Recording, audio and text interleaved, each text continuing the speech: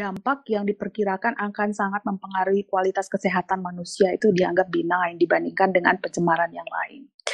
Tapi kita akan melihat trennya nanti kita diskusikan tentang uh, tren kemungkinan uh, jika tanpa ada pengelolaan uh, plastik uh, dan sampah plastik sekarang ini maka di masa depan kemungkinan besar kita memang mau tidak mau akan menghadapi uh, dampak dari polutan uh, baru yang uh, didiskusikan. Nah, sebelum saya mulai karena ke ini masih hangat-hangatnya dan yang ke ribut membahas itu malah banyak peneliti. Jadi apa sebenarnya mikroplastik? Mikroplastik pada awalnya uh, penelitian uh, definisi mikroplastik itu pun masih beragam gitu.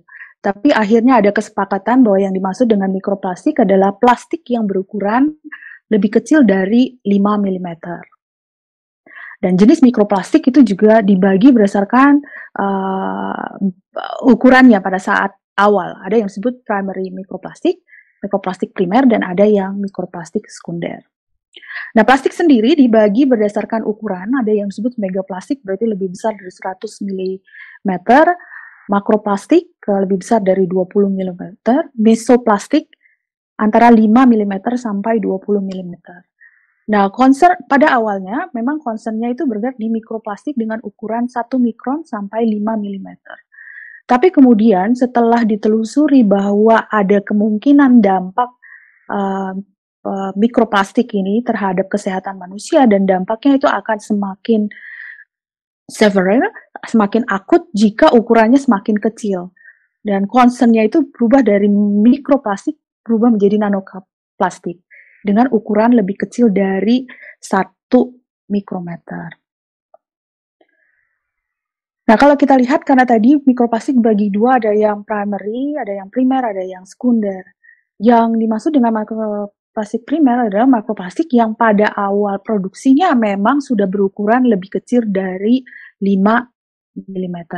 Sedangkan uh, secondary mikroplastik, mikroplastik sekunder itu uh, pada awalnya mungkin saja meso atau uh, makro plastik yang kemudian karena ada proses fotodegradasi, termal degradasi, ada termooksidasi, biodegradasi, hidrolisis, plus fragmentasi, maka ukurannya yang tadinya makro e, berubah atau meso berubah menjadi mikro. Jadi yang lebih besar dari 5 mm kemudian berubah menjadi lebih kecil dari 5 mm. Nah, dari mana sajakah sebenarnya sumber mikroplastik uh, primer dan mikroplastik sekunder ini? Kalau kita lihat yang memang pada awalnya pada saat produksi itu memang sudah berukuran kecil itu erat kaitannya dengan industri kosmetika dan toiletries. Jadi kalau ibu-ibu yang ke uh, apa uh, suka menggunakan scrub itu akhir-akhir ini uh, banyak scrub yang menggunakan uh, mikroplastik, mikrobat uh, sebagai bahan untuk bisa apa ya scrub me, me, uh, untuk membuat yang tadinya kasar menjadi halus begitu ya. Nah untuk sekali facial wash itu dari uh, studi yang dilakukan di uh, oleh Nature di uh, Inggris menyatakan bisa sampai 4.500 sampai 94 lebih dari 94.000 partikel mikrobat yang uh, mungkin dikeluarkan.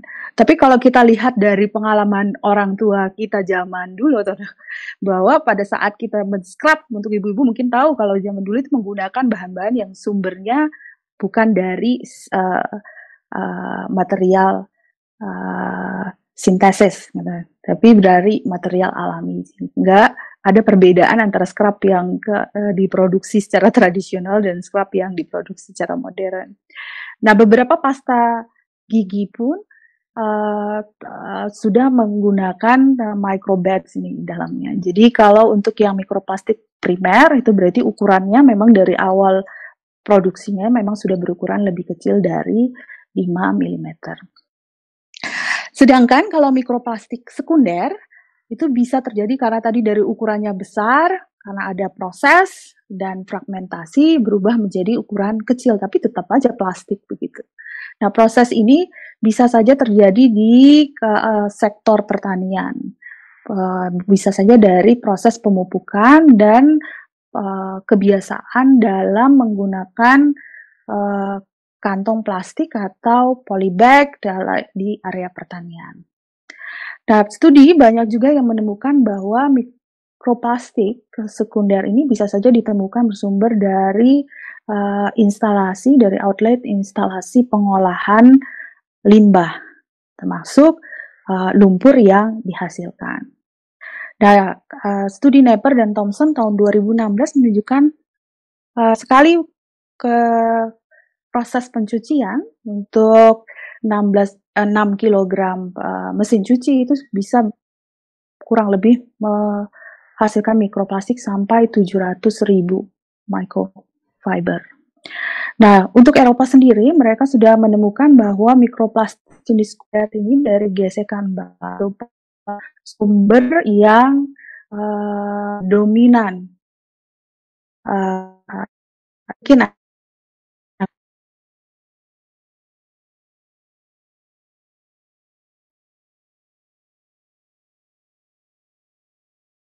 kemungkinan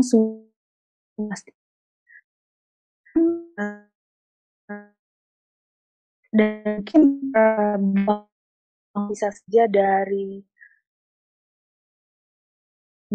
uh, sektor pertanian yang sudah kita bahas tadi, bisa juga dari gaya hidup pengguna pas pantai, uh, domestik uh, yang akan kita bahas banyak pada diskusi kita sore hari ini ada, ada bagian besar seperti yang di oleh uh, Jambek yang walaupun sudah di, saja bahwa produksi uh, mikroplastik itu erat kaitannya kalau kita lihat proses uh, mikroplastik sekunder tadi bahwa dari yang besar menjadi kecil itu karena pengelola utama sampah plastik uh, di dunia. Uh, kemudian Hart tahun 17 dan transport dan freight uh, yang diidentifikasi paling uh, domi uh, sumber mikroplastik ada dari pemenuhan kebutuhan manusia di domestik, industri, dan pertanian. Kemudian yang kedua yang banyak di mikroplastik berasal dari uh, instalasi pengolahan limbah, baik itu uh, domestik maupun yang industri. Nah, dan limbah yang dihasilkan dari si pengolahan uh, limbah kemudian produk yang tanpa pengelolaan yang baik pada akhirnya akan terbuang ke lingkungan bisa kan off masuk ke dalam water bodies mulai dari sungai, danau, kemudian akhirnya bisa sampai ke laut. Nah, dari ke penelitian yang dilakukan Jambek tahun 2015 uh, kurang lebih dari negara-negara yang berada di garis pantai dari 275 uh, eh, juta ton plastik yang dihasilkan sekitar 4,8 sampai 12, itu, itu bisa uh, masuk ke lautan.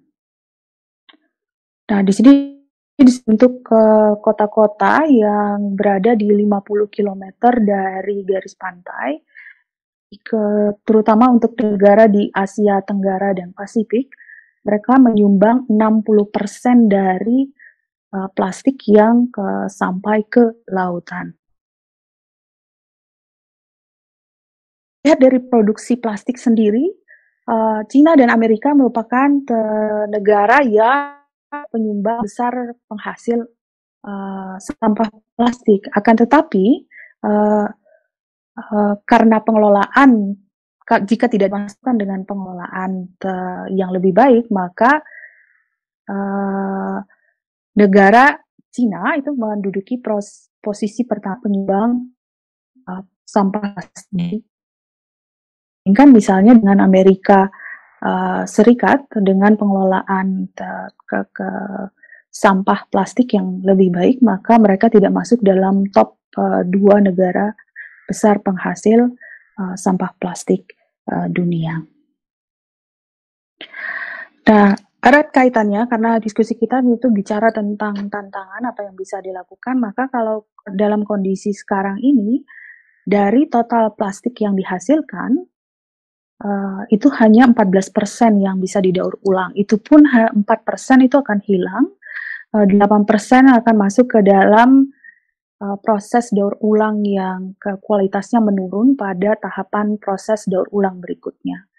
Dan hanya 2% saja yang merupakan uh, proses daur ulang yang ke kualitasnya tetap terjaga gitu. Artinya kualitasnya tetap sama sebelum dan sesudah di daur ulang.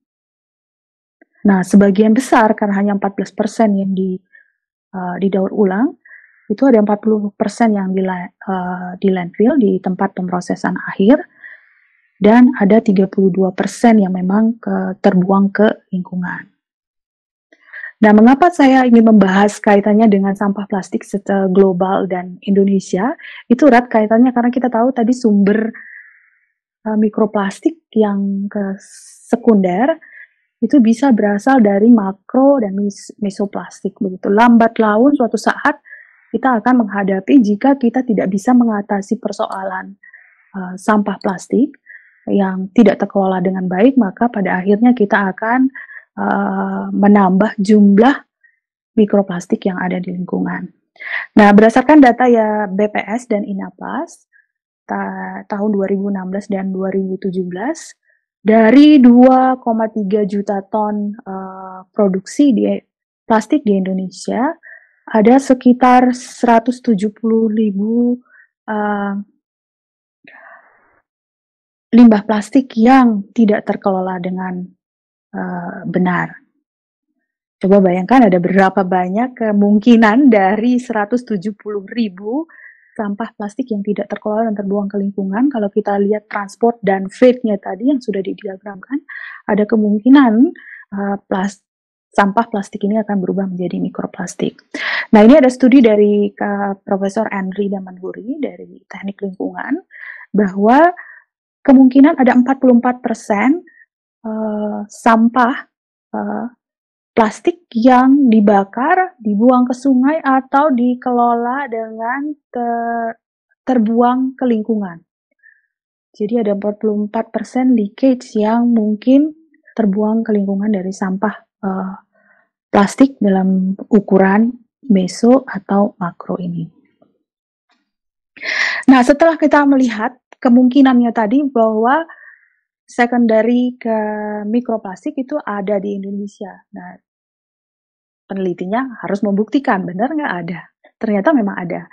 Kita uh, sudah melakukan uh, studi yang kita lakukan di uh, Sungai uh, Citarum dan kita melihat bahwa uh, kita menemukan rata-rata ada sekitar 2 sampai 6 partikel per liter air Sungai Citarum.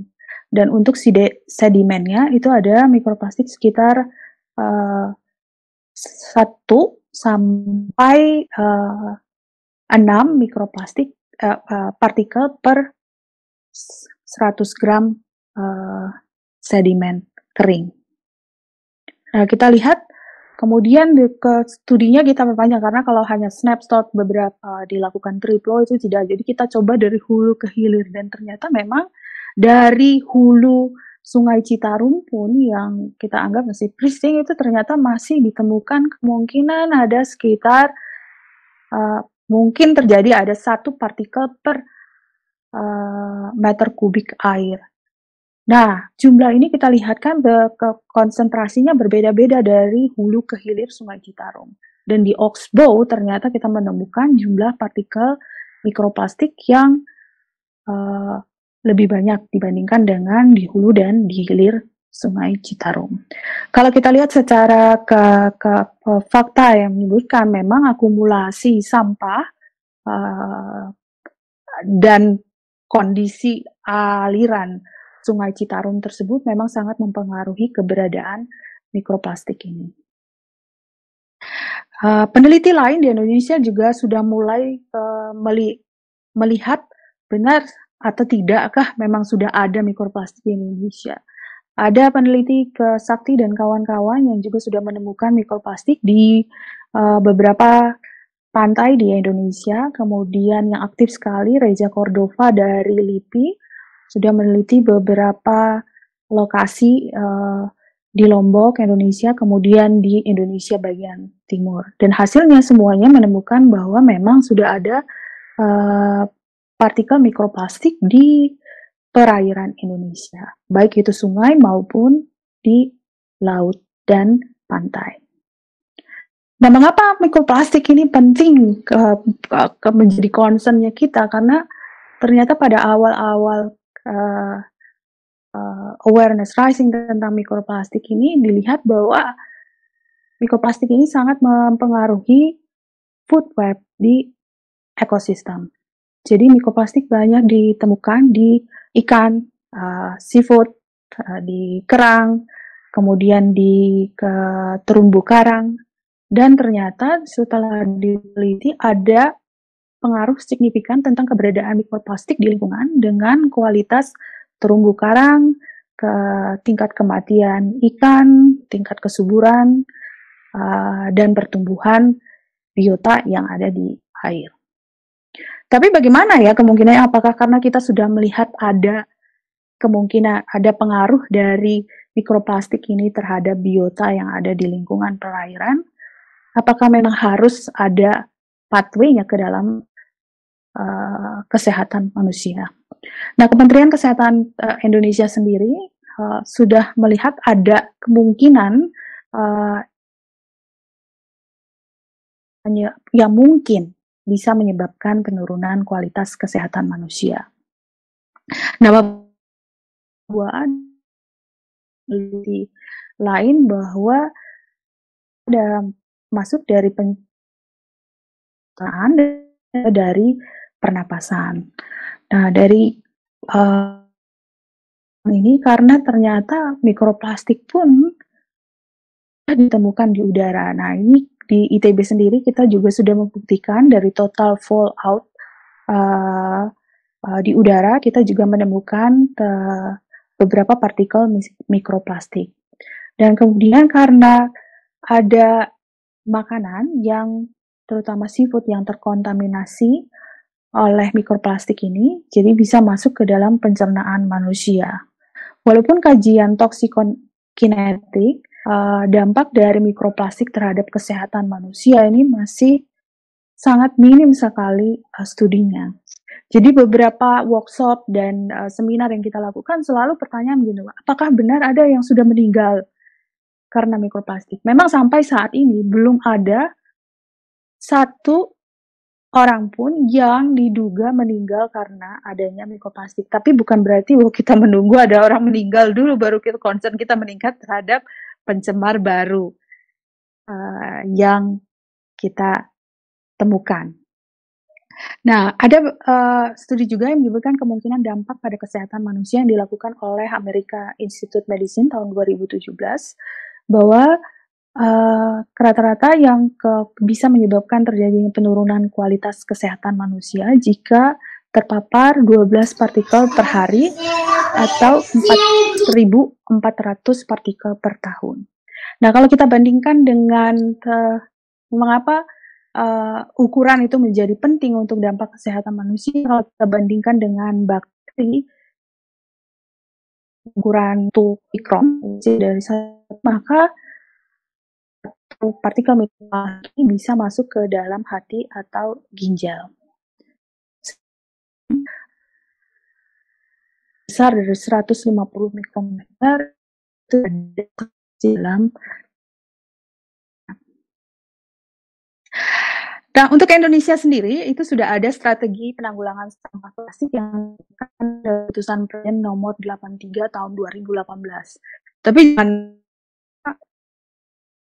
aturan khusus tentang mikroplastik di di misalnya Permenkes tentang uh, standar air Indonesia tidak ada dicari-cari sampai ke bawah parameter mikroplastik juga tidak ada. Tapi mungkin masa depan kita juga akan pada uh, uh, khusus untuk air bersih yang ada. Dan aturan kita di dalam para misalnya di kualitas lingkungan uh, perairan itu di PP 82 sama sekali sampai sekarang juga belum ada dimasukkan parameter mikroplastik di dalam. Jadi makanya saya menyebutkan kalau berbicara mikroplastik, bicara tentang tantangan yang mungkin kita hadapi akan datang. Nah, bisa dilihat dari sampah plastik di Indonesia ini memang sudah dipelajari bahwa karena sumbernya tadi ada primer dan sekunder, yang didekati itu adalah behavior change-nya tadi.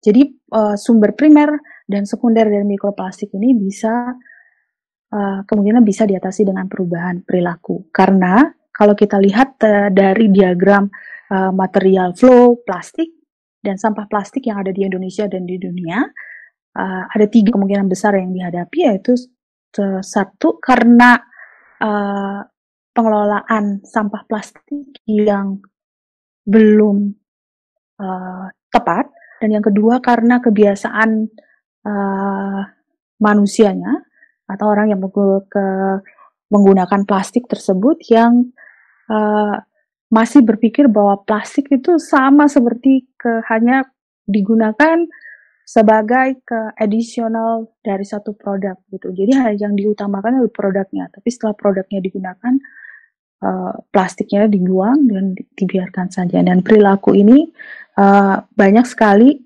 uh, ada tidak hanya di Indonesia tapi di negara-negara di dunia. Jadi ada tiga hal utama yang dilakukan.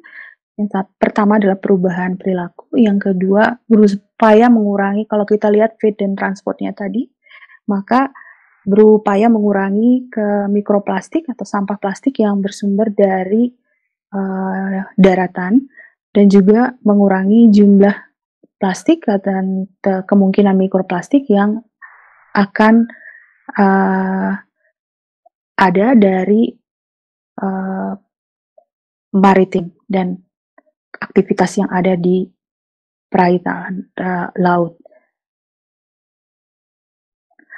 Nah, kita sendiri ke bertanya-tanya apakah memang ke uh, instalasi pengolahan air bersih uh, di Indonesia dengan konfigurasi konvensional yang ada sekarang ini sudah mampu mengatasi jika ada mikroplastik di air baku air minum.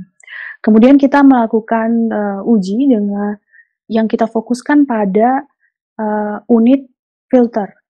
Uh, walaupun sebelum sampai ke unit filter, uh, air sampel ini kita lakukan uh, pre-treatment yang mengikuti proses yang terjadi di konfigurasi pengolahan air bersih, mulai dari uh, koagulasi, flokulasi, kemudian sedimentasi, dan kemudian dilanjutkan dengan uh, filtrasi.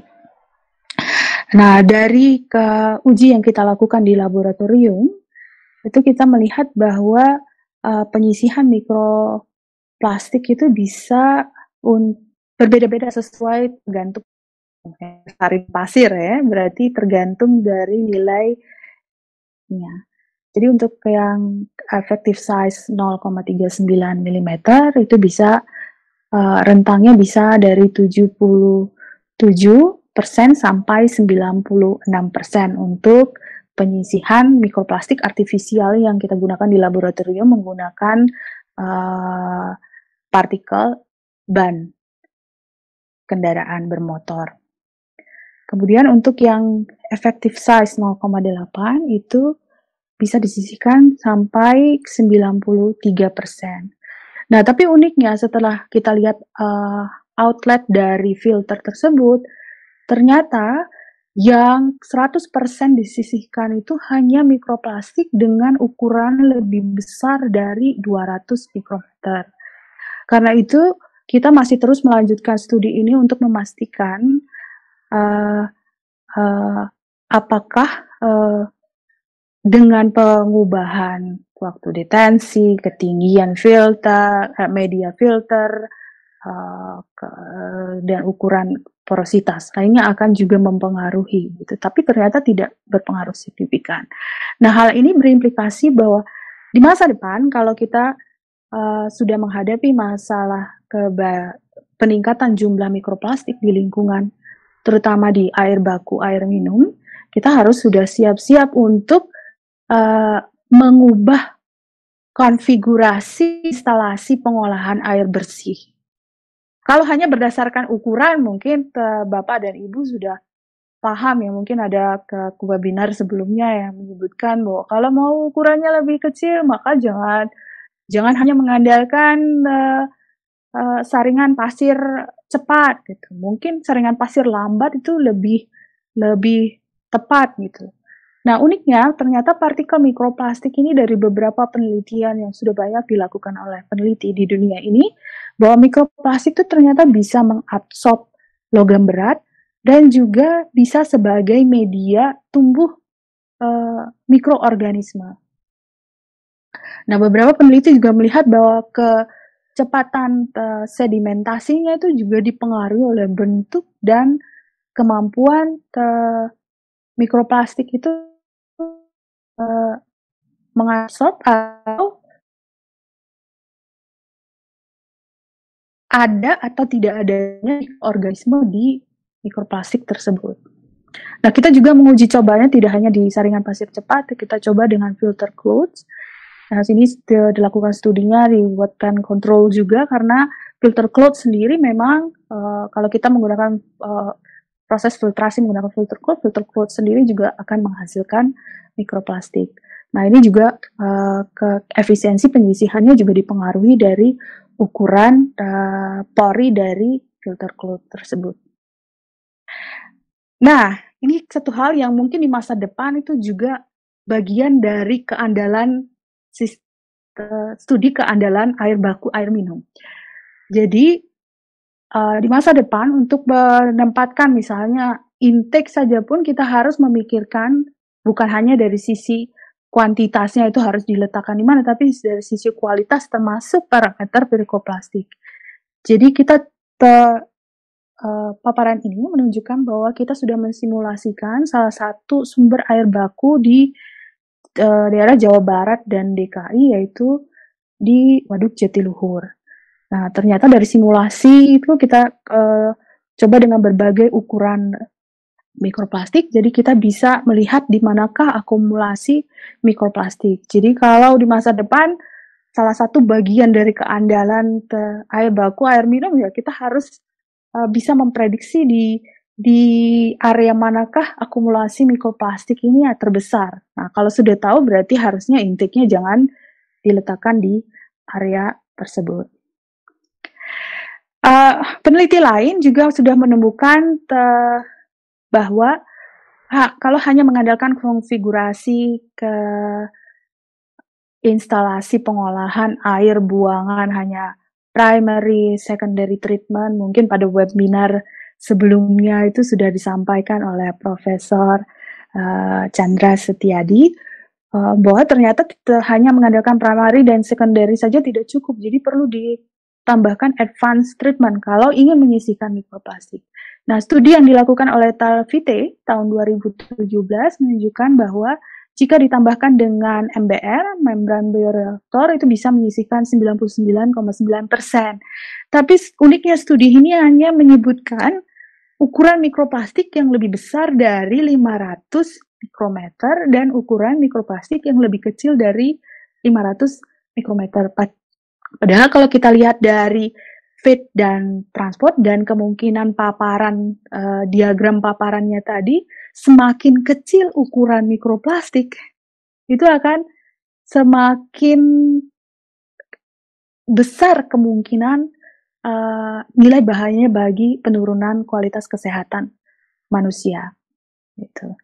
Tapi uh, biar bagaimanapun kita acknowledge penelitian ini menunjukkan kalau menggunakan tambahan rapid sand filter bisa menyisikan 97% dan untuk disk filter itu tidak direkomendasikan karena penyisihan mikroplastiknya berada pada posisi yang paling kecil. Rentang yang paling kecil. Oke. Okay. Uh, Nah, ke mikroplastik ternyata juga ditemukan di udara karena penelitian di ITB menemukan di total uh, atmospheric fallout itu sudah ditemukan beberapa uh, partikel mikroplastik dengan berbagai ukuran. Tapi lagi-lagi ukuran ini sangat mempengaruhi karena apakah ukurannya itu bisa sampai ke saluran pernapasan bagian atas, apakah uh, ukuran mikroplastik tersebut bisa mencapai saluran pernapasan uh, bagian bawah. Saya rasa itu saja triggernya untuk melihat uh, apa yang mungkin kita hadapi di masa depan dan kemungkinan uh, jenis uh, uh, polutan baru ini akan mempengaruhi juga cara berpikir kita untuk mengelola lingkungan, terutama untuk uh, teknologi dan konfigurasi unit uh, proses ataupun unit operasi di masa yang akan datang. Sedangkan uh, yang yang yang mau saya highlight karena sebagian besar dari sumber mikroplastik ini uh, bersumber dari sampah plastik dan kita lihat tadi dari kemungkinan fed dan transportnya bahwa mikroplastik tersebut sebagian besar ada di ke, ke apa ke dari aktivitas kehidupan manusia dan pemenuhan kebutuhan manusia. Sehingga mungkin kalau Bapak Ibu kemarin sudah sudah apa mendengar uh, diskusi yang berdiskusi dengan Pak Jaina, mungkin salah satu alternatifnya ya itu tadi harusnya bisa membuat uh, siklus yang tertutup dari sampah sehingga tidak ada leakage ke sampah plastik ke lingkungan. Dan kalau ini sudah bisa kita atasi, maka kemungkinan jumlah mikroplastik di masa depan pun tidak akan ber, ya minimal stagnan lah, tidak bertambah. Ataupun kalaupun ada, kita sudah siap dengan teknologi uh, dan unit, baik itu unit proses atau unit operasi yang sudah bisa menyisihkan partikel mikroplastik ini. Demikian. Saya ya. kembalikan ke Pak Asep. Ya, terima kasih Bu Eminda, luar biasa presentasinya. Uh, ada dua pertanyaan uh, kepada uh, peserta yang hadir di Google Meet ini. Silakan tuliskan pertanyaan di kolom chat ya. Ada kolom chatting, nanti akan saya bacakan. Uh, pertama-tama akan saya bacakan dulu dua pertanyaan yang disampaikan dari YouTube. Pertama dari Bapak M. Tohir dari Puslitbang Perkim. Pertanyaannya adalah sejauh mana bahaya mikroplastik seperti yang terkandung dalam kosmetik atau pada pemakaian sehari-hari yang ada di rumah tangga. Kemudian pertanyaan kedua dari Ibu Sandy B. Rondonwu dari FMIPA Unsrat Manado. Pertanyaannya, bagaimana dengan akumulasi mikroplastik dalam air mineral yang disimpan dalam mobil berhari-hari kena matahari? Barangkali dua itu dulu, Bu Eminda, nanti akan saya sampaikan lagi pertanyaan berikutnya. Baik, terima kasih uh, Pak Asep. Pertama untuk Pak Tohir ya, uh, sejauh mana bahaya pemakaian kosmetik? Sebenarnya ke, kalau kosmetik selama masih dalam uh, di luar apa ke tubuh manusia itu hanya untuk pemakaian luar itu sudah pasti itu sudah kalau udah lulus izin uh, edar itu pasti sudah tidak membahayakan. Nah, problemnya tadi yang di kosmetik itu pada saat misalnya kita ambil contoh saja ke microbed. Pada saat kita mencuci muka, kemudian uh, air cuciannya itu masuk ke floor drain. Floor drain masuk ke salur umumnya di Indonesia masuk ke saluran drainase karena disatukan gitu kan. Uh, dari saluran drainase terus kalau kita lihat valve-nya balik ke lingkungan. Ke, ke lingkungan itu bisa ke perairan dari sungai bisa ke laut.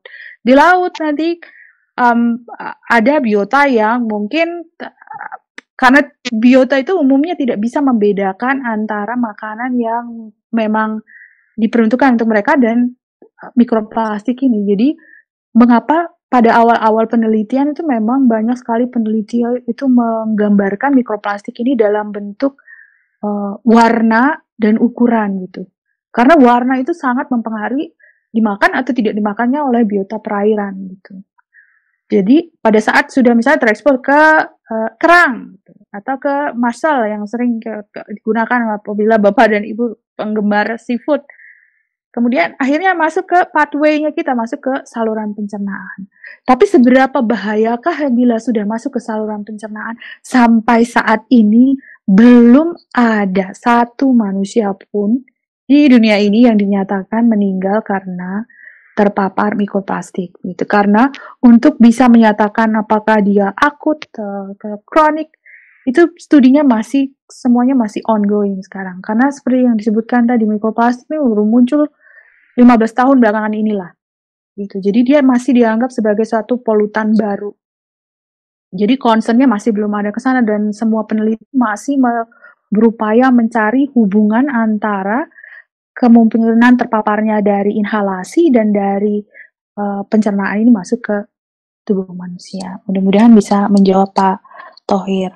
Kemudian kalau uh, untuk pertanyaan Bu Sandy dari Unsat, uh, banyak studi termasuk studi di Indonesia, tapi ke studi yang terakhir yang dilakukan di Indonesia itu sampelnya masih ibu juga dari uh, dunia pendidikan sampelnya itu untuk sekali snapshot itu tidak bisa merepresentasikan, tetapi banyak studi yang dilakukan di, uh, peneliti itu sudah memang menemukan adanya partikel mikroplastik di uh, air mineral gitu. Uh, kemudian yang terakhir juga sudah menemukan tapi masih snapshot gitu satu kali saja gitu. Tidak ada uh, pengulangan dari penelitian tersebut sehingga hasilnya masih kita ragukan gitu bahwa mikroplastik yang sudah masuk ke dalam saluran pencernaan itu ditemukan lagi di feses manusia. Tapi karena snapshot itu masih uh, ya most likely itu masih belum bisa kita generalisir untuk kemungkinan bahwa ada ada pengaruh dari mikroplastik yang masuk dalam saluran pencernaan. Gitu. Tapi kalau keberadaan mikroplastik di uh, air mineral dan termasuk beberapa studi di instalasi pengolahan air bersih pun di beberapa negara di Eropa dan Amerika dan termasuk di di uh, Asia itu sudah menunjukkan ada mikroplastik di uh, unit proses terakhir dari instalasi pengolahan air bersih. Studinya sudah mulai banyak, mulai dari pertama kali itu ada di tahun 2017 dan terus masih bertambah sampai saat ini. Jadi beberapa peneliti dari berbagai negara mulai mempublish uh, makalah-makalah yang menunjukkan keberadaan mikroplastik di uh, unit proses terakhir di uh, air instalasi pengolahan air bersih termasuk di jaringan distribusinya. Demikian Pak Asep, mudah-mudahan bisa menjawab Bu Sandy dan Pak Tohir. Ya, uh, terima kasih Bu. Uh, pertanyaan berikutnya dari forum Google Meet ya. Yang pertama dari Bu Erna Lestianingrum. Apakah mikroplastik dapat terlepas dari air minum dalam kemasan plastik yang terkena paparan dengan nilai panas tertentu? Apakah ada ciri tertentu yang dapat dilihat secara visual bahwa air tersebut telah terpapar mikroplastik. Kemudian pertanyaan kedua dari Ibu Putri Suryani terkait mikroplastik yang ada di udara, apakah sumber utama sehingga mikroplastik ada di udara? Berapa konsentrasi yang ada yang telah diuji dan berapa konsentrasi mikroplastik yang masih dapat diterima? Itu barangkali dua pertanyaan dari uh, Google Meet ya, Bu. Baik. Uh, pertama untuk Bu Erna dulu. Nah, uh, uh, kalau tadi kita lanjutkan ya, berarti memang sudah banyak yang menemukan ada partikel mikroplastik di um, di kemungkinan ada di air mineral gitu. Tapi kan seperti biasa kita harus melihat apakah kita bisa mengeneralisir apakah keberadaan ini ada untuk setiap jenis uh, air mineral gitu karena setiap kali kita melihat sampelnya itu masih terlalu sedikit gitu dibandingkan dengan uh, jumlah produksi dari industri air minum dalam kemasan tersebut gitu. Nah, uh, kalau kita lihat tadi dari uh, proses uh, uh, secondary mikroplastik, jadi memang bisa terbentuknya mikroplastik ini bisa dipengaruhi oleh tadi temperatur, kemudian uh, uh, panas, itu akan mempengaruhi. Jadi uh, kalau bisa, uh, karena kan setiap kemasan itu sebenarnya pada saat dia mendapatkan izin itu dia sudah kalau kalau kita tanya industri plastik pada saat mereka membuat uh, jenis plastik tertentu mereka sudah punya karakteristik dan uh, kemampuan dari plastik tersebut gitu.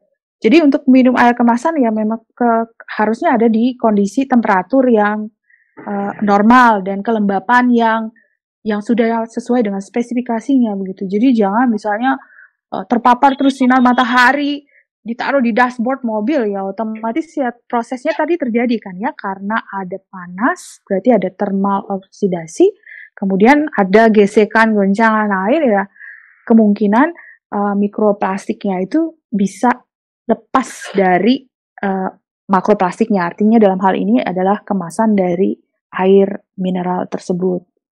Uh, kalau ditanya ciri-cirinya itu ukurannya itu terlalu kecil untuk kasat mata tuh kalau misalnya kita lihat nih, lihat jernih saja gitu ya Bu ya. Jadi tidak satu-satunya cara ya memang harus diuji gitu kan ya kalau hanya untuk kasat mata kalau apalagi ukurannya tadi yang sudah mendekati satu mikron hampir sama dengan ukuran bakteri itu kita sudah tidak punya kemampuan lagi untuk melihatnya. Jadi saya tidak bisa menjawab apa ciri-ciri utama. Tapi kalau bagaimana pencegahannya ya mungkin kata tadi karena kita sudah tahu proses perubahan dari makro ke mikro tadi itu dipengaruhi dari proses panas, kelembapan, uh, proses oksidasi, uh, degradasi, uh, hidrolisis, uh, kemudian ada fragmentasi, berarti hal tersebut yang harus uh, bisa dihindari. Jadi ya kalau misalnya temperaturnya temperatur udara ambien ya temperatur udara ambien tanpa harus dieksposur dengan ke uh, apa ke sinar matahari yang berlebihan gitu. Misalnya ditempatkan di yang kita kasih contoh tadi di dashboard mobil.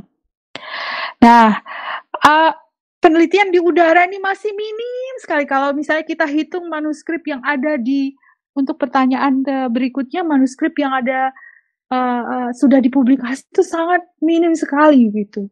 Dan uh, umumnya itu masih uh, dalam rentang yang uh, kecil dari satu met apa partikel per meter kubik udara gitu. Tapi itu juga dipengaruhi dari lokasi di mana sampling tersebut dilakukan.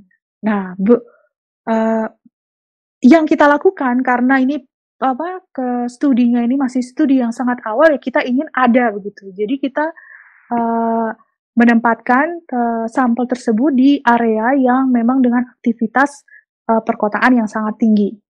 Uh, untuk hasil yang uh, saya tayangkan tadi. Nah, pertanyaan Ibu ini yang agak rumit nih, ini pertanyaan yang belum bisa dijawab oleh WHO dan para peneliti lain.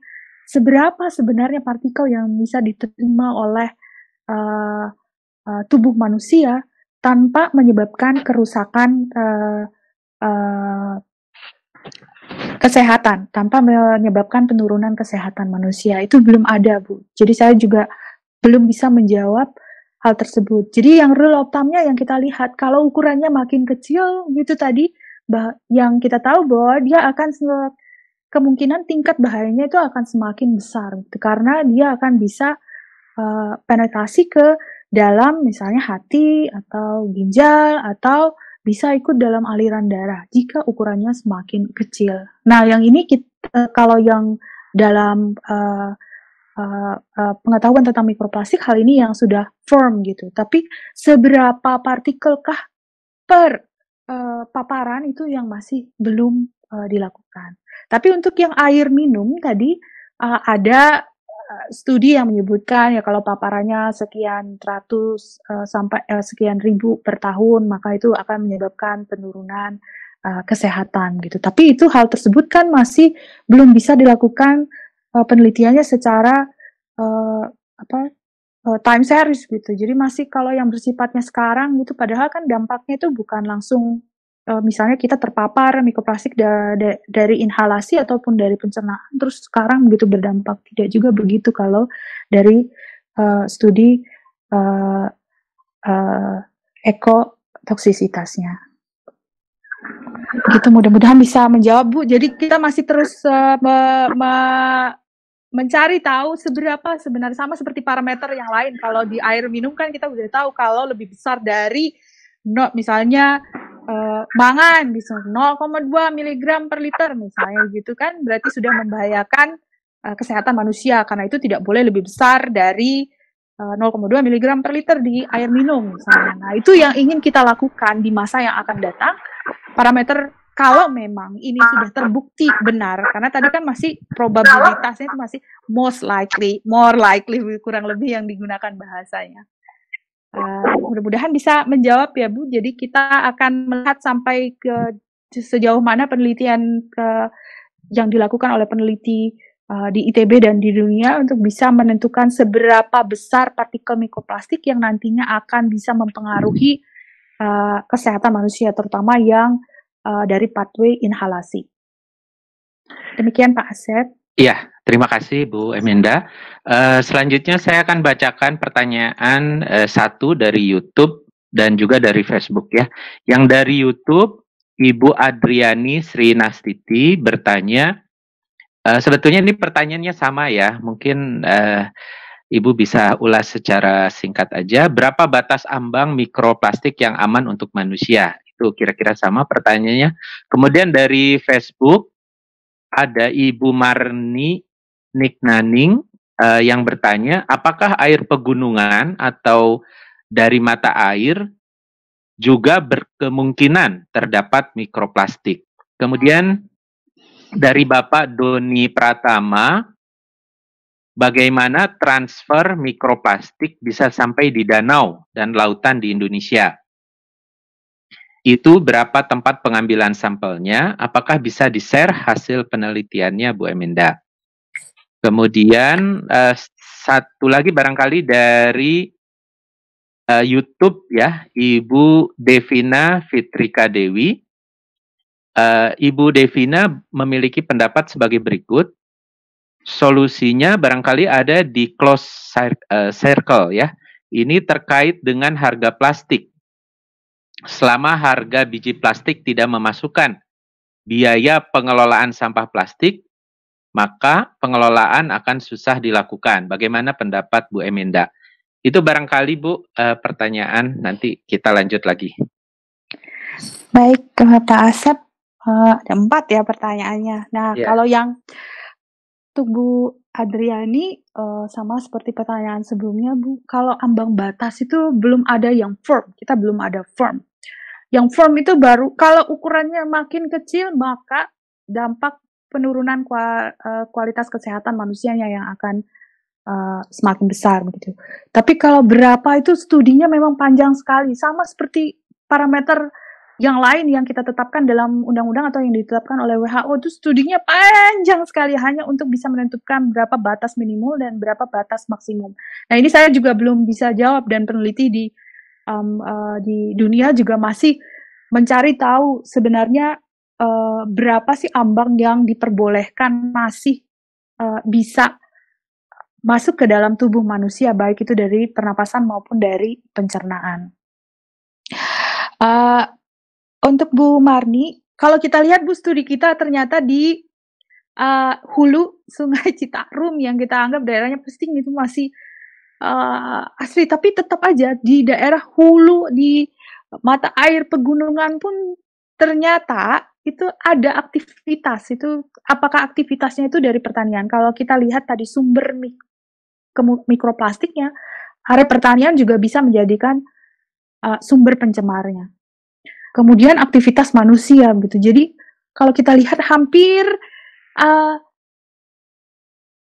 tidak ada hampir tidak ada area di belahan bumi ini tanpa ada aktivitas manusia begitu. Kalaupun jumlah manusianya sedikit tapi tetap ada aktivitasnya yang di area tersebut sehingga ada kemungkinan uh, sumber mikroplastik atau sampah plastik yang mungkin masuk ke daerah pegunungan. Kecuali kalau memang sama sekali tidak ada aktivitas manusia, sama sekali tidak ada aktivitas lain, dan itu areanya masih asli sama sekali mungkin ada. Tapi kalau dari studi yang dilakukan oleh um, peneliti, termasuk di kutub utara dan kutub selatan pun sudah ditemukan mikroplastik. Kita uh, waktu itu pernah belajar salah satu dari prominent uh, peneliti mikroplastik yang dari Jepang dan itu sengaja khusus mencari mikroplastik sampai ke kutub selatan dan tetap ditemukan ada dan itu ditunjukkan itu ada beberapa partikel mikroplastik yang memang ditemukan di area-area yang kita anggap sangat minim aktivitas manusia atau tidak ada sama sekali. Jadi mungkin ada. Jadi untuk Bu Marni saya hanya bisa menjawab mungkin ada karena ada kemungkinan kan mikroplastik ini karena ukurannya kecil itu dia bisa ikut dalam aliran air, bisa ikut terbawa angin, kemudian jatuh saja ke area misalnya mata air di pegunungan tersebut. Kemudian untuk uh, Pak Doni, untuk share PPT-nya terbuka rasanya untuk semua webinar di PSLH, Pak, bisa di-download di websitenya PSLH, termasuk untuk uh, materi ini. Uh, kalau untuk transfer feed, transport dan feed-nya sampai bisa ke danau, tadi kan uh, sudah ada gambaran, jadi ada dari land base-nya, mungkin ke run out, masuk ke water body, masuk ke lingkungan perairan, bisa trapping uh, di dalam uh, danau tersebut, masuk dari tentu saja masuk dari inletnya, mungkin dari anak sungai atau dari mata air, kemudian uh, ke danau tersebut. Jadi kemungkinan karena kan kalau kita bicara lingkungan tidak ada satu lingkungan pun yang tertutup sama sekali. Dia selalu berhubungan dengan uh, kompartemen lingkungan yang lain. Entah itu dia tanah ke air, air ke tanah, dari udara ke tanah, udara ke air. Nah, itu tidak bisa dihindari. Jadi, transfernya hampir sama dengan polutan yang lain, terutama untuk polutan-polutan dalam ukuran yang sangat kecil, yang pathway-nya itu tidak hanya bisa ikut aliran air, tapi juga bisa ikut dalam aliran uh, udara. Uh, untuk yang terakhir pertanyaan keempat tadi tentang solusinya. Memang solusinya kan tadi sudah uh, disebutkan bahwa sa salah satu cara yang bisa kita mulai dari sekarang itu adalah bagaimana caranya kita mengur mengelola sampah plastik yang dihasilkan. Nah, kalau close loop tadi kan artinya dia tetap ada di siklus proses produksi. Gitu. Walaupun sebenarnya ada juga penelitian yang menyebutkan di industri daur ulang itu karena ya namanya ada proses ya, uh, proses unit proses operasi atau unit proses berarti ada kemungkinan yang tadi itu ya terpapar dengan ke, ke temperatur yang lebih tinggi, kemudian ada gesekan, terjadi fragmentasi. Tapi itu hanya bagian kecil. Tapi kita upayakan kalau mau dihindari ya itu tadi bahwa dalam sistem pengelolaan uh, sampah kita, terutama sampah plastik ini harus dalam bentuk closed loop. Jadi balik lagi jangan sampai ada leakage yang ter, tidak terkelola terbuang ke lingkungan gitu. Kalaupun diuruk, misalnya diuruknya ya jangan di open dumping. Kalau sanitary landfill ya mungkin kan sudah ada liner di bawah yang mencegah uh, kemungkinan ter kalau terjadi degradasi uh, plastik, makroplastik, mesoplastik yang menjadi mikroplastik itu tidak sampai ke uh, kompartemen uh, tanah misalnya, tidak masuk ke dalam air tanah, kemudian masuk ke air tanah dan seterusnya. Kalau kita lihat siklusnya tadi. Saya rasa itu Pak Asep Baik. pertanyaan yang Terima kasih Bu Eminda. Uh, saya sampaikan satu pertanyaan dari YouTube dari Pak Imade Gunamanta. Apa metode standar untuk penentuan mikroplastik dalam air? Bagaimana tingkat akurasinya? Kemudian ada pertanyaan dari Facebook, Bapak Suhardi Tahir. Apakah sampah plastik yang dibakar menghasilkan jelaga akan tersebar menjadi polutan mengandung mikroplastik yang akan terkonsentrasi di udara, lalu masuk ke sistem pernafasan manusia. Apakah sudah ada temuan atau penelitian tentang kasus ini. Kemudian ada pertanyaan di forum Google Meet dari Ibu Sugi Hartini. Apakah dari peralatan makan atau minum yang biasa kita gunakan sehari-hari bisa melepaskan mikroplastik?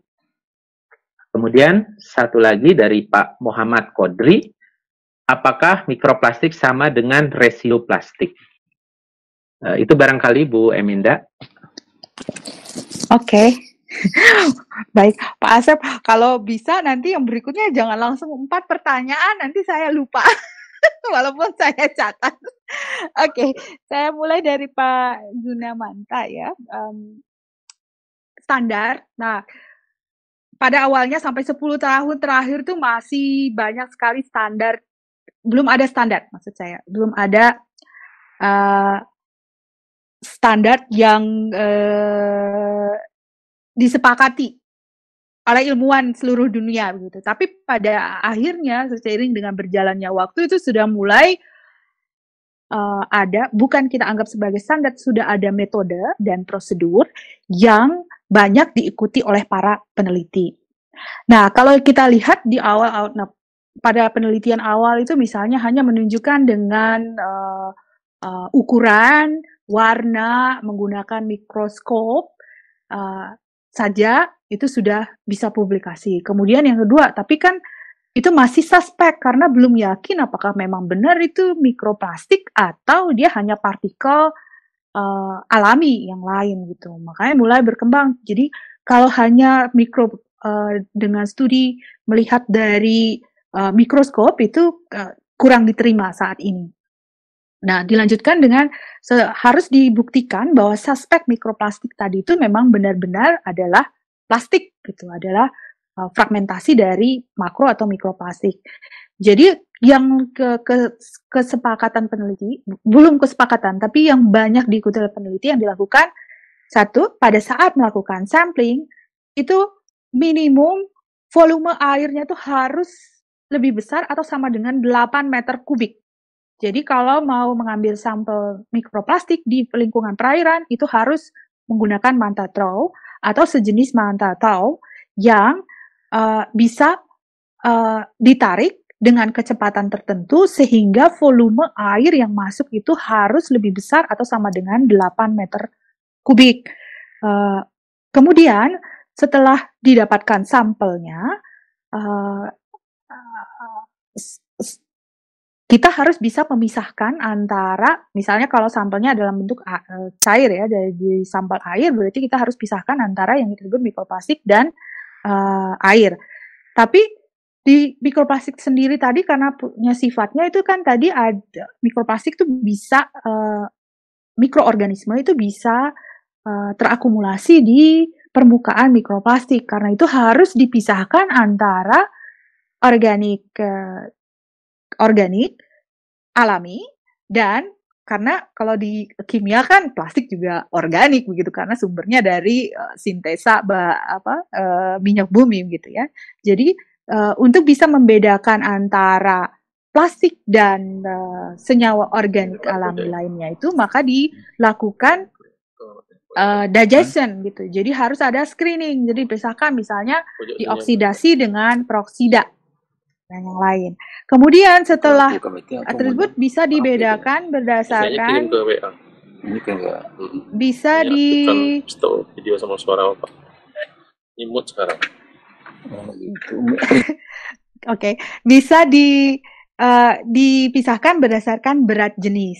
Kemudian uh, setelah itu karena yang kalau setelah itu kita pisahkan lagi. Nah setelah dipisahkan itu masih suspek kan kita belum yakin apa benar ini mikroplastik uh, atau bukan gitu karena itu perlu alat analisis yang lain. Yang pertama digunakan itu banyak sekali yang diterima paling minimal kalau studi mikroplastik minimal harus bisa dibuktikan dengan analisa FTIR.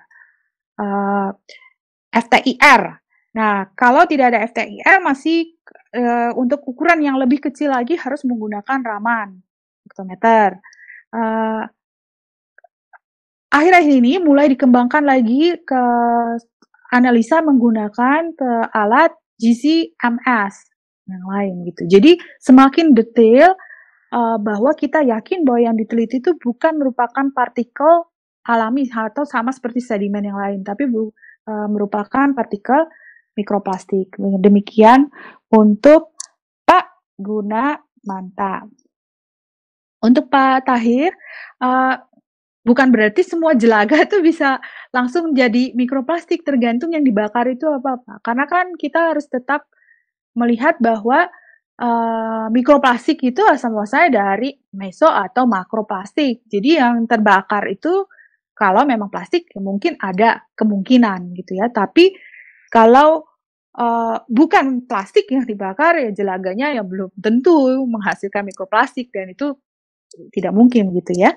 Nah, mikroplastik di udara ini karena uh, serat pakaian yang kita gunakan, polyester itu kan sebenarnya juga menghasilkan fiber yang bisa kita kategorikan sebagai uh, mikroplastik gitu Pak. Jadi kalau yang di udara berterbangan ini bukan berarti selalu harus dari pembakaran, tapi bisa juga misalnya dari pakaian kita yang karena seiring dengan berjalannya waktu, maksudnya waktunya bajunya itu sudah sangat lama, maka polyesternya itu seratnya itu mulai uh, lepas. Karena ukurannya kecil, maka dia akan uh, uh, kemungkinan bisa terbawa angin dan ada di terbawa angin dan ada di lingkungan uh, ambien.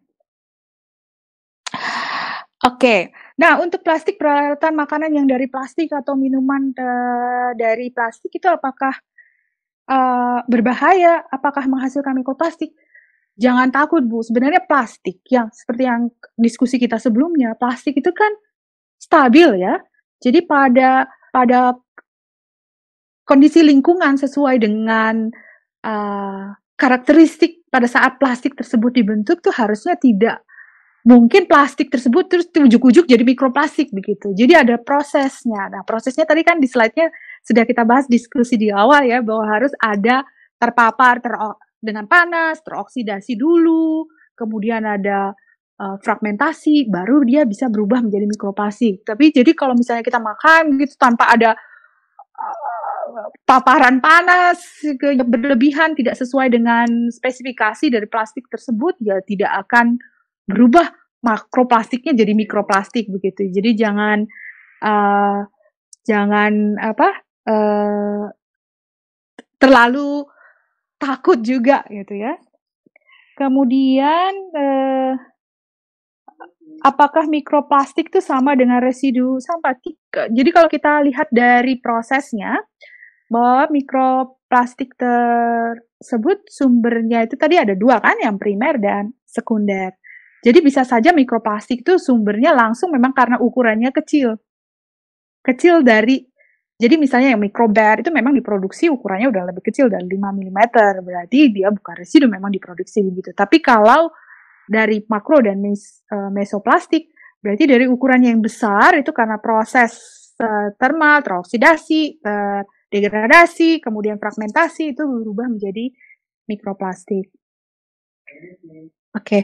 uh, Pak Asep dikembalikan ke Pak Asep.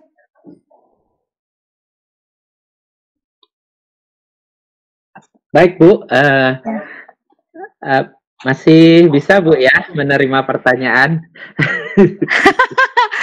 Boleh aja Pak, selama saya okay. bisa menjawab.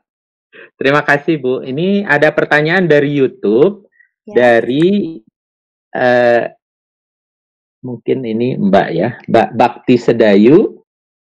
Uh, apakah mikroplastik yang tertelan biota laut seperti ikan hanya tersimpan dalam pencernaannya saja, atau bisa masuk hingga ke jaringan daging, sehingga sulit untuk dihilangkan sebelum dikonsumsi. Kemudian pertanyaan kedua dari Pak Ilham Fajri, untuk kasus mikroplastik di muara atau di laut, apakah sumbernya berasal dari seluruh sampah kota atau hanya dari sampah di sekitar muara laut saja, muara atau laut saja. Pertanyaan ketiga, ini pertanyaan dari Facebook, dari Ibu Firna Tamrin.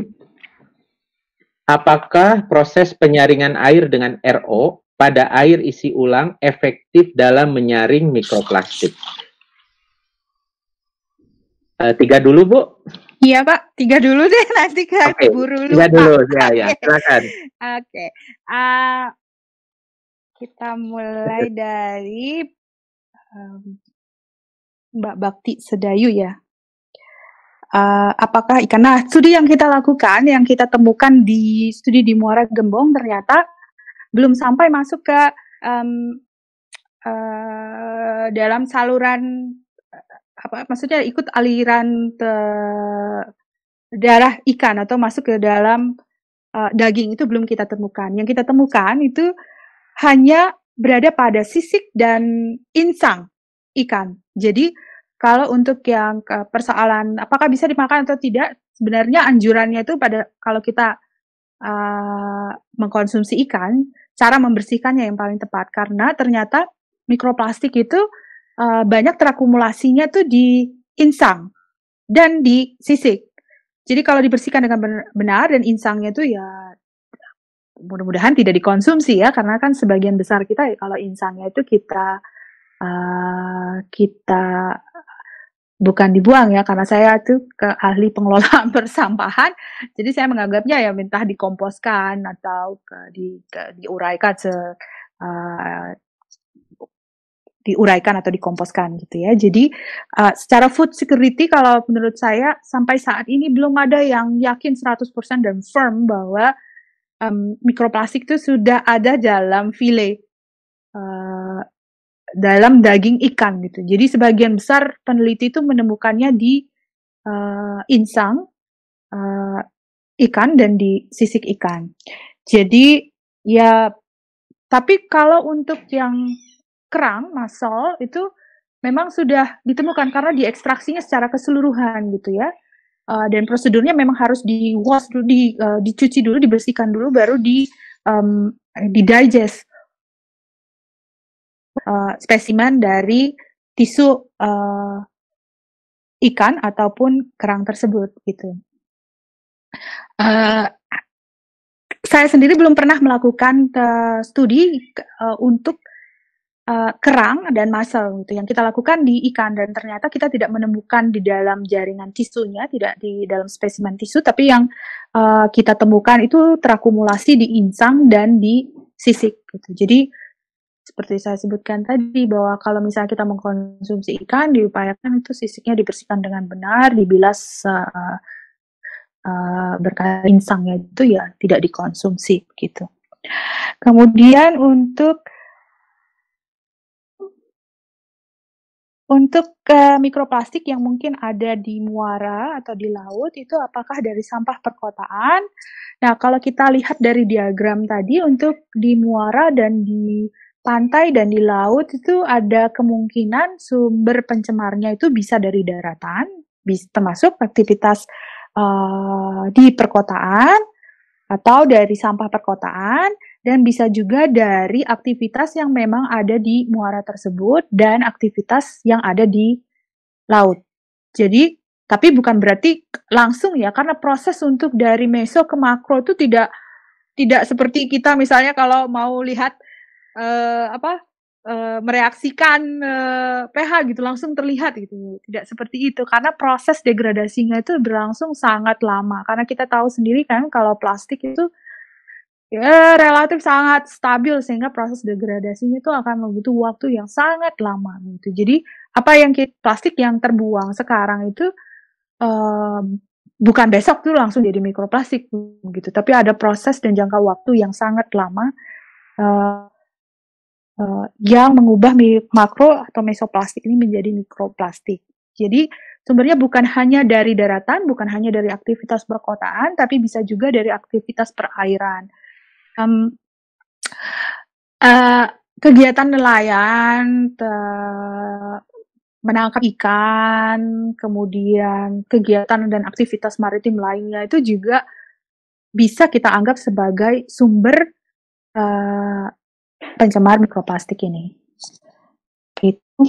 Kemudian dari uh, Firna, kalau kita melihat hanya dari tubuh Pirna ya yang terakhir, kalau kita hanya melihat dari ukuran, uh, kan kita tadi menyebutkan bahwa mikroplastik adalah plastik dengan ukuran uh, antara 1 mikron sampai 5 mm. Nah, kalau Kak, mudah-mudahan saya tidak salah nih, kalau reverse osmosis itu kan harusnya bisa uh, menyisihkan yang ukurannya 10 pangkat minus 4 mm, ya kan? Berarti sampai 0,1 mikron, ya kan? Artinya, lebih kecil dari 0,1 mikron, berarti mikroplastik artinya sudah bisa disisihkan oleh reverse osmosa. Nah, yang saya sebutkan tadi, jadi kalau kita menghadapi problem mikroplastik di masa yang akan datang ini, mungkin kita harus berpikir uh, konfigurasi pengolahan air bersih yang ada sekarang gitu. Jadi, karena kan kalau kita lihat PDAM kita sekarang ini, uh, sebagian besar mengandalkan saringan pasir cepat untuk uh, menyisihkan uh, polutan. Nah, untuk uh, membran sendiri pun, teknologi membran itu sudah bisa juga menyisihkan mikroplastik. Kalau hanya dilihat dari ukuran ya, kadang-kadang mikroplastik agak sedikit kompleks karena dia tadi itu bisa mengabsorb, bisa mikroorganisme bisa terakumulasi gitu. Terus apa per, kecepatan sedimentasinya, kecepatan settlingnya itu banyak dipengaruhi oleh karakteristik bentuk uh, dari mikroplastik ini. Tapi kalau hanya dilihat dari ukuran, saya sih optimis bahwa river osmosis ini bisa menyisihkan mikroplastik kalau hanya dilihat dari ukuran. Mudah-mudahan saya tidak salah ya kalau river osmosis kan 0, lebih kecil dari menyisihkan lebih polutan yang lebih kecil dari 0,1 mikron gitu. Jadi ya uh, optimis mungkin bisa. Membran pun mungkin bisa. Demikian Pak Asep. Uh, baik Bu, terima kasih. Uh, selanjutnya ada pertanyaan dari uh, Bu Anita Ahmad. Apa solusi agar mikroplastik tidak masuk ke tubuh manusia? Apakah sudah ada teknologinya seperti filter air, masker, dan sebagainya? Kemudian dari Ibu Ika Rasti Juliasari, apakah sudah ada pengujian mikroplastik sesuai SNI dan laboratorium akreditasi mana saja yang bisa melakukan pengujian.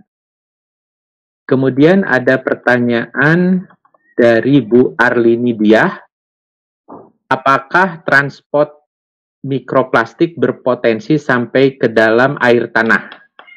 Itu barangkali tiga pertanyaan, Bu Eminda.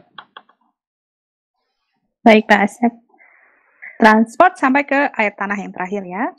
Ya. Oke. Okay. Nah, bagaimana mencegah uh, dari Bu Anita dulu? Bagaimana mencegah mikroplastik tidak masuk ke dalam tubuh manusia? Uh, dari skema kita tadi ada dua mungkin exposure-nya ya paparannya dari inhalasi, dari um, pencernaan. Karena kalau dari uh, apa permukaan kulit gitu kalau ukurannya masih 100 lebih besar dari 150 uh, uh, mikrometer pasti tidak akan bisa gitu ya. Dia harus masuk ke da, dalam dalam bentuk inhalasi atau dalam pencernaan.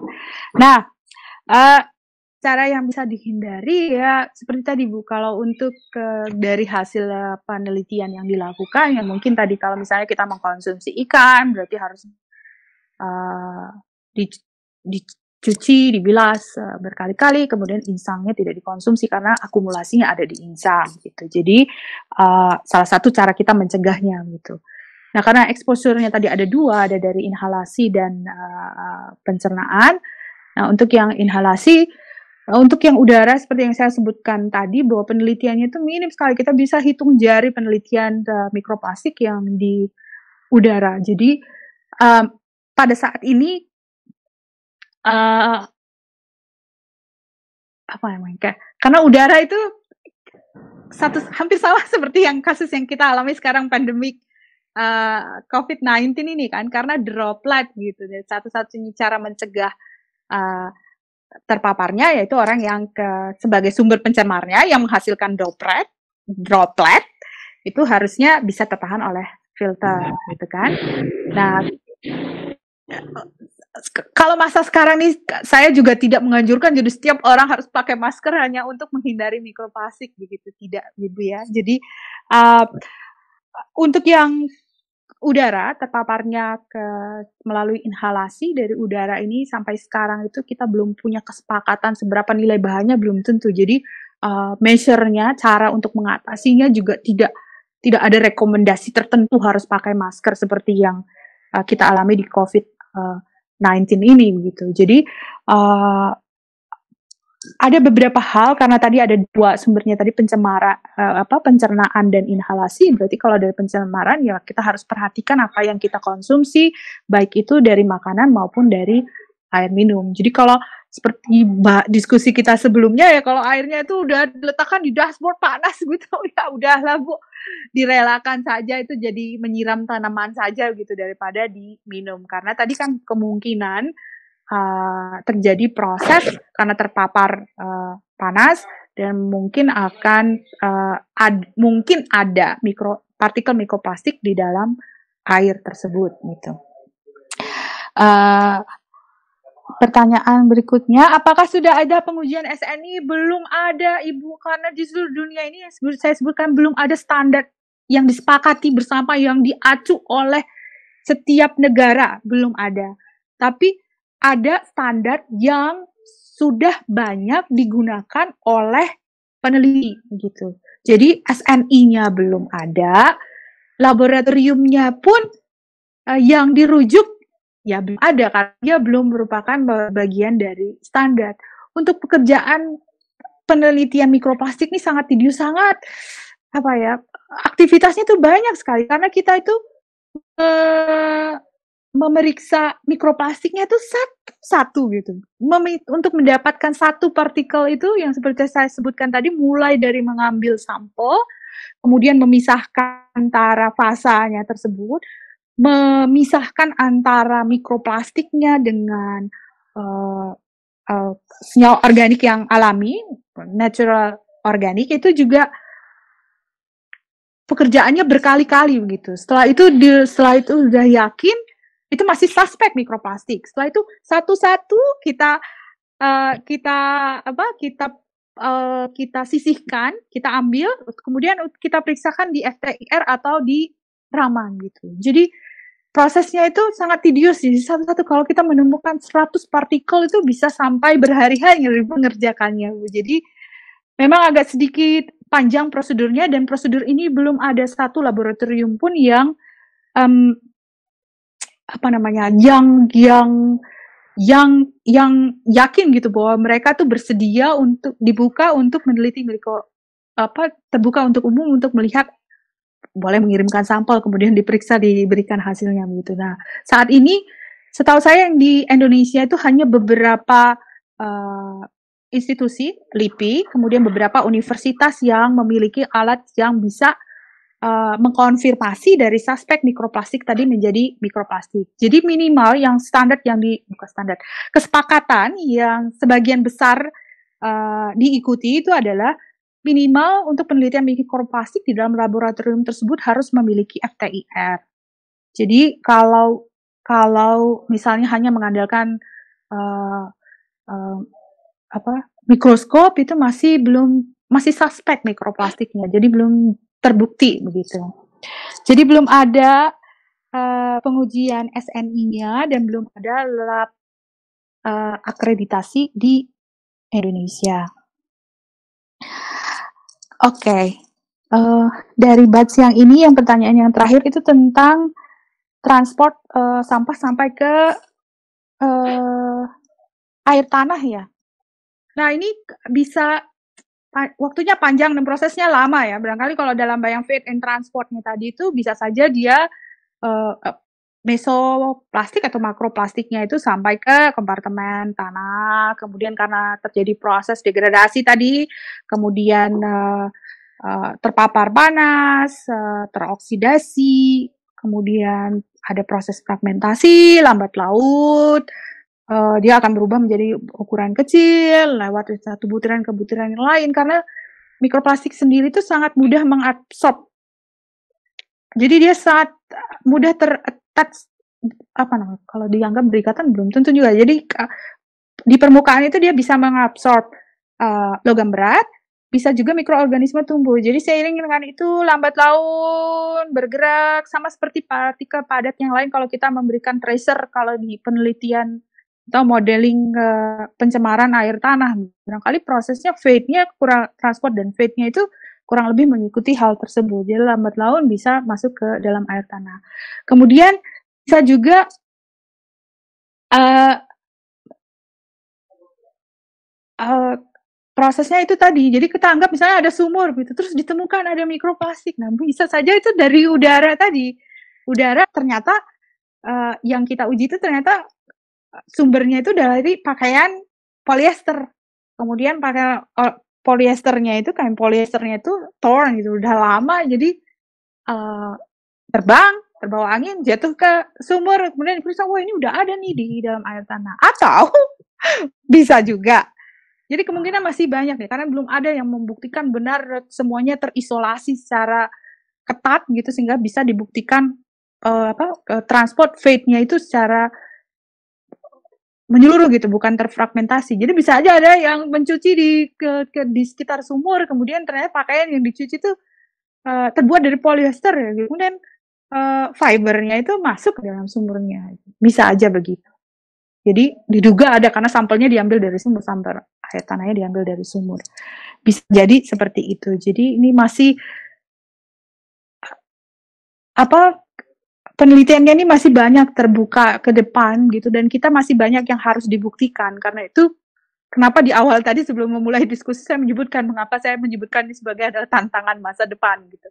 Karena masih banyak hal yang belum diketahui oleh para peneliti dan masih banyak yang perlu dijawab oleh para praktisi untuk bisa sampai pada kesimpulan uh, menyeluruh gitu dari mulai sumber pencemarnya, kemudian pathway-nya di lingkungan itu ke mana saja, kemudian resepiennya bagaimana, itu mungkin tadi yang udah dijelaskan pada webinar yang sebelumnya gitu. Jadi ini masih banyak uh, pertanyaan pengetahuan yang masih uh, belum terisi gitu di dalamnya. Jadi tapi kalau kita lihat modelnya itu harusnya sih sudah bisa saya ambil contoh untuk ke uh, transport uh, dan sedimentasi dari mikroplastik ini sebenarnya dia sebagian besar itu mengikuti proses sedimentasi partikel sedimen alami.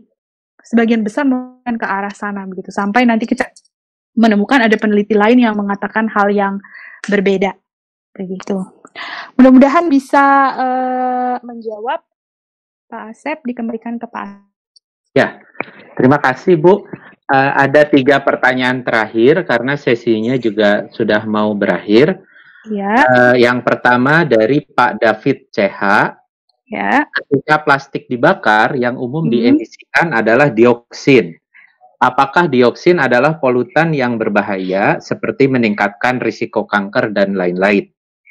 Kemudian dari Ibu Dinda Anissa, eh? apakah sudah ada penelitian di Indonesia mengenai jumlah mikroplastik yang berasal dari mikrobit, WWTP, atau gesekan ban?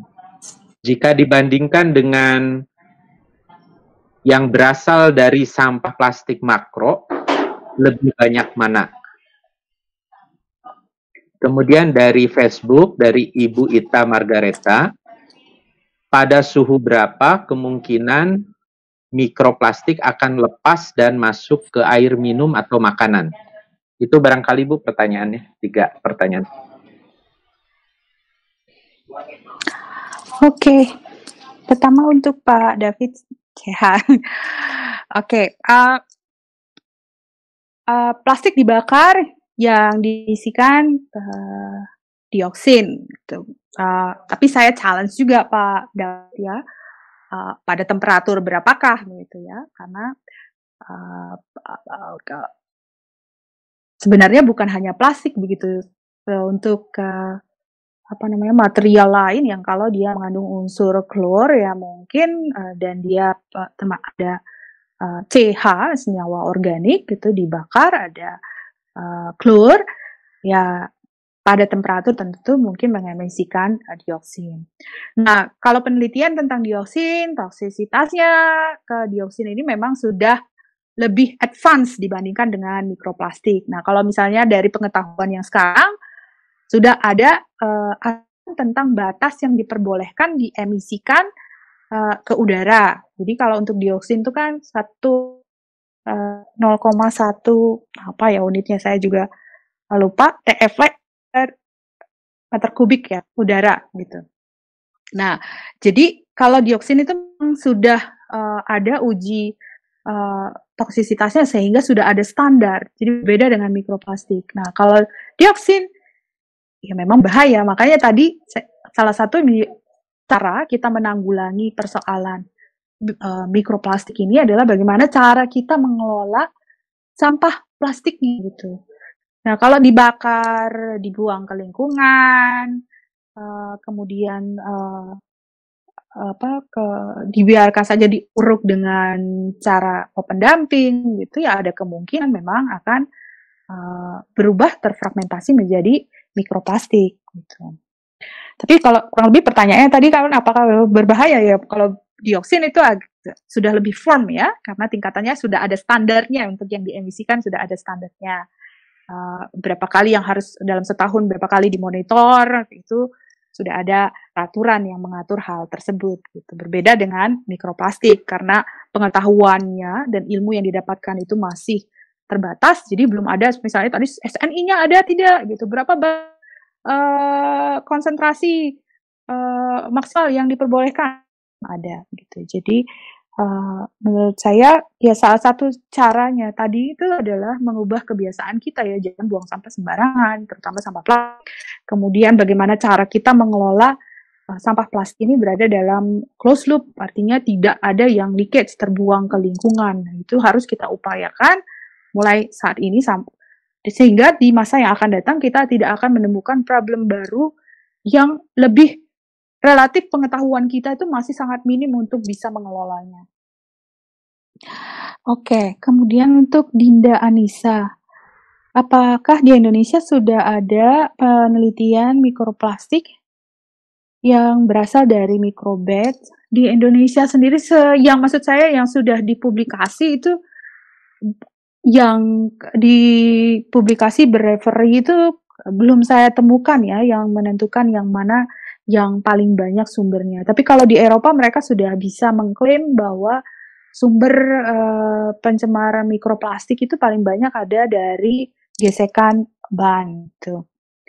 Uh, sedangkan di Indonesia kita masih uh, belum secara menyeluruh misalnya bisa membuat persentase kurang lebih yang manakah yang paling dominan te, uh, penyumbang mikroplastik di lingkungan. Apakah itu dari uh, mikroplastik primer ataupun dari mikroplastik sekunder, misalnya dari uh, instalasi pengolahan uh, limbah ataupun dari sektor transportasi berupa gesekan. Jadi kalau kalau Bapak Ibu saat ada yang sebagai peneliti ya mungkin bisa meneliti ke arah tersebut uh, dan dipublikasikan umum sehingga bisa kita bersama-sama melihat itu ke, ke dikombinasikan dan bisa melihat secara uh, menyeluruh yang manakah yang paling berkontribusi. Tapi kalau kita lihat cara kita mengelola uh, sampah sepertinya sektor ke produksi ke dan konsumsi kita yang ke apa lebih lebih banyak gitu ya kalau secara produksi sampah plastik yang kita hasilkan dan kemudian cara kita mengelola sampah plastik tersebut tanpa mempertimbangkan misalnya tadi closed loop, mempertimbangkan circular economy, uh, kemudian tanpa mempertimbangkan bagaimana caranya uh, meningkatkan bahwa uh, produk konsumsi dan produksi kita ini lebih sustain gitu. Jadi um, pertanyaannya belum bisa saya jawab dengan benar. Tapi kalau beberapa negara lain itu memang sudah ada klaimnya, terutama di Eropa mereka sudah menyebutkan paling banyak dari uh, gesekan ban sehingga run off-nya itu yang mereka pelajari. Jadi uh, apa namanya ke cara mengelolanya itu bisa difokuskan misalnya dari sektor transportasi apa yang bisa dilakukan terhadap limpasan air dari uh, jalan sebagainya. Untuk mencegah uh, masuknya mikroplastik dari jalanan ini ke lingkungan. Oke, nah yang terakhir nih waktunya sebenarnya udah habis ya buat Bu Ita. Berapakah temperaturnya? Uh, karena plastik sendiri itu dia ada ketentuan khusus pada saat produksi ya Bu. Jadi harus dilihat spesifikasinya. Nah mungkin saya tidak begitu ke hafal tentang ke berbagai jenis plastik. Cuma untuk uh, kalau food apa Indonesia dari Kementerian uh, uh, Kesehatan itu kan ada izin ya yang diperbolehkan misalnya untuk makanan itu ada spesifikasinya khusus dan ada peraturannya kalau tidak salah. Jadi bisa dilihat misalnya untuk indus apa kemas uh, minuman itu uh, spesifikasi plastik yang boleh digunakan pada temperatur temperatur sekian gitu. Harus berarti temperatur yang kita jaga itu tidak boleh lebih dari spesifikasi dari plastik tersebut gitu. Saya tidak begitu hafal nanti mau apa uh, kalau diberikan apa nanti uh, saya bisa titipkan di di situsnya PSLH nanti bisa di-download aturan tentang uh, apa kemasan yang diperbolehkan dijadikan uh, terutama kemasan plastik yang diperbolehkan dijadikan uh, kemasan makanan dan minuman. Jadi cara kita yang mencegahnya yaitu tadi kalau udah spesifikasinya begitu ya jangan lebih dari yang karena setiap plastik tuh uh, ada sedikit perbedaan temperatur temperatur uh, yang biasa digunakan. Gitu. Begitu Pak Asep, mudah-mudahan bisa membantu diskusinya dan, dan ya. banyak pertanyaan. Terbiasa uh, tepuk tangan buat Bu Emenda. Bu Eminda, ini mudah sebetulnya masih banyak akan apakah boleh uh, sharing apa kode kontak ibu di website PSLH. Kemudian uh, jadi Bapak Ibu nanti silakan cek di website PSLH barangkali nanti ada kontak dari Ibu Eminda. Kemudian untuk rekaman juga nanti akan di-share di website PSLA ITB. PSLA ITB. Uh, kemudian Bapak Ibu uh, sebelum kita tutup ada pengumuman untuk besok itu uh, akan ada webinar terakhir sebelum Lebaran ya uh, dari Ibu Profesor Puji Lestari, dosen di Teknik Lingkungan ITB dengan judul Pengendalian Pencemaran Udara di Industri. Sekali lagi terima kasih buat Bu Eminda, luar biasa. Pertanyaan juga sangat banyak. Mudah-mudahan bisa bermanfaat untuk kemajuan lingkungan di Indonesia ya. Amin, Eminda. terutama untuk polutan-polutan baru nih. Jadi minimal ada yang sudah dengar itu mulai concern gitu dan berhati-hati dan berpikir tentang bagaimana cara kita mengelola sampah plastik. Uh, karena ujung-ujungnya tuh nanti kalau kita tidak dari sekarang itu mengelola sampah plastik, maka di masa depan kita menghadapi problem lingkungan yang lebih kompleks. Begitu Pak Asep. Mudah-mudahan bisa mencerahkan dan eh, bisa apa memberikan uh, sedikit berbagi pengetahuan. Ya, terima kasih Bu Emenda. Dan bagi para pendengar, setelah Lebaran pun kita akan ada webinar-webinar. Silahkan dipantau terus di website PSLA ITB CID ya. Uh, demikian acara webinar hari ini kita bisa selesaikan. Terima kasih atas partisipasi Bapak Ibu terutama kepada pembicara kita yang luar biasa hari ini Ibu Emenda. Terima kasih banyak. Kita tutup dengan ucapan salam. Assalamualaikum warahmatullahi wabarakatuh. Waalaikumsalam warahmatullahi wabarakatuh.